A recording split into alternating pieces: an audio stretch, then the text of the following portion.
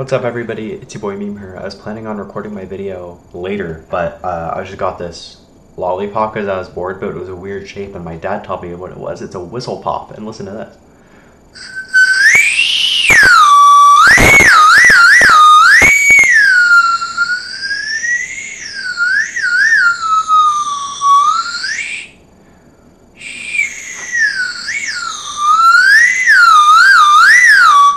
It's just really, really crazy.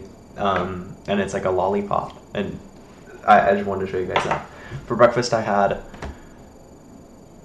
some yogurt. For lunch, I had some leftover pasta that my sister made last night. And for dinner, I don't know what we're having for dinner. I also have a sparkling water right here. Um, yeah, I'm just hanging out. I finished my um, Linux class work today. I'm doing my sheets. Um, that's pretty much it. Um, I hope everybody's a good day, and yeah, see you.